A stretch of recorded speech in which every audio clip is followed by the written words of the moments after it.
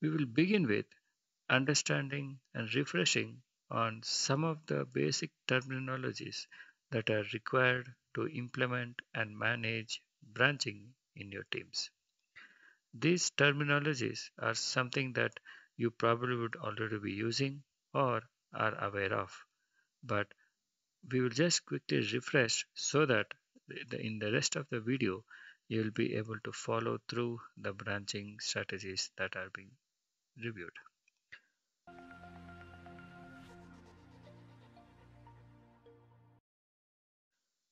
There are basically three, three ter terminologies that we look into, each focused on or related to the branching strategy that we are going to apply. The first terminology that we will understand is a branch.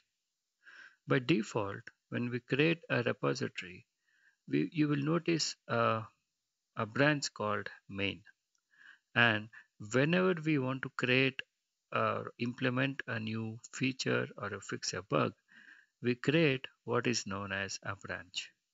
A branch is basically a reference to the latest version of the code and copied into a new uh, reference point known as a branch.